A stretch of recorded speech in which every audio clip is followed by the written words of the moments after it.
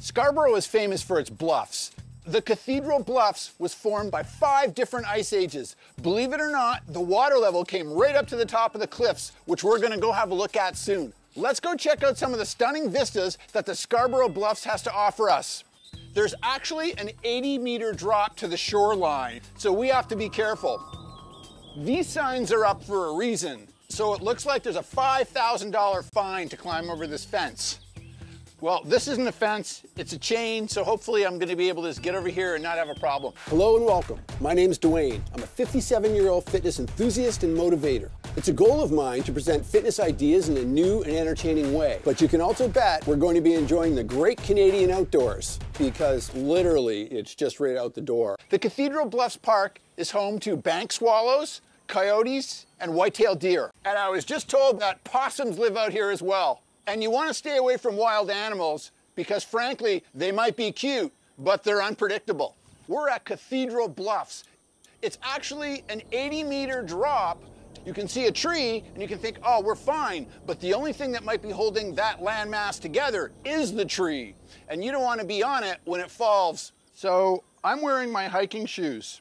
Running shoes aren't really recommended. The treads can get full of mud and you can basically slip. And right now I could be two feet away from nothing. So I'm gonna be very careful.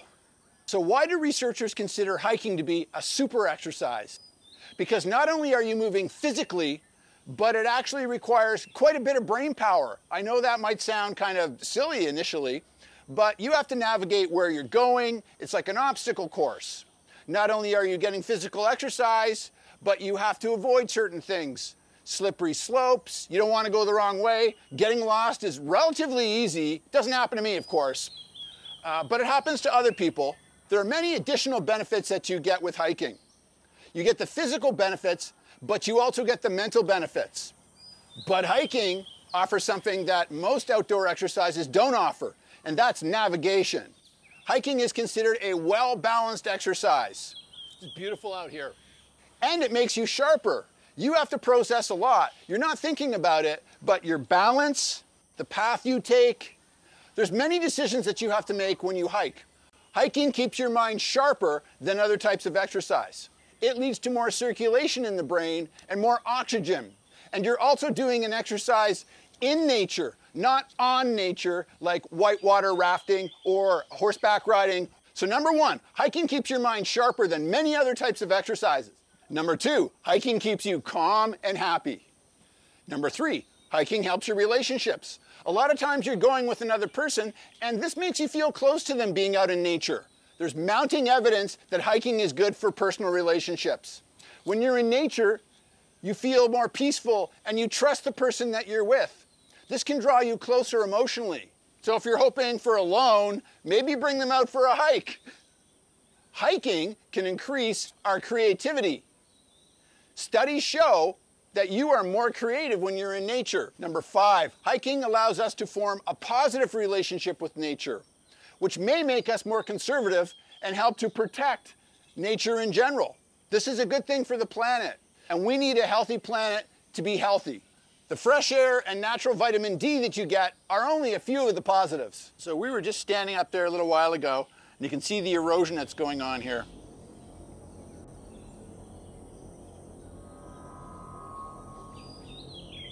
Okay, so now we're down below. We were actually way up there. And you can see just how dangerous that is. You take the wrong step or you have the wrong footwear on, you can slip right off the edge. It's pretty high up. Actually, if you look way up the top, you can see the bank swallows. So apparently we can't climb up there, which is a real drag because I was just about to set off. Sure, it's a little bit of a challenge, but I'm sure I could handle it. I'm just gonna make sure I have my will in order before I... Well, I have to say Bluffers Park is a real bluff because along with the escarpment, you get a beach. So you probably weren't thinking that you need to take your bathing suit to the park when you're hiking. Well, there you go. They've rated this park at a 4.7, which is actually pretty high. And I would have to say it deserves it. This park is gorgeous.